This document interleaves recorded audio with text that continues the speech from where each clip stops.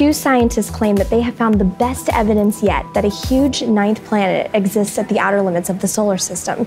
It's called Planet X, and it's about 10 times the mass of Earth, or roughly the size of Neptune. The planet supposedly orbits far out from the sun on a highly elliptical path, which takes 10 to 20,000 years to make one full circuit. And it's way out there too, somewhere between 200 and 1200 times the distance from the sun to Earth. But don't get too excited yet. No one has actually seen this planet. The entire argument about its existence is theoretical. It's based on the observations of six objects in the Kuiper Belt, the large cloud of icy bodies at the edge of the solar system. The way these objects move around the sun seems to indicate that they're being affected by something big, aka Planet X. That's about all the evidence we have, though, and some experts think that six objects is a pretty low sample size for such a big claim.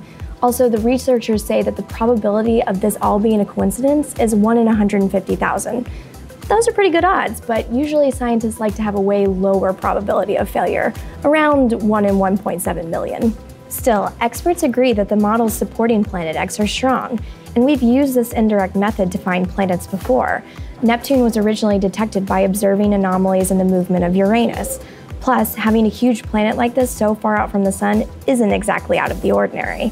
Planets of this size are very common throughout the universe, so Planet X would make our solar system much more normal than strange. Now all we've got to do is find it.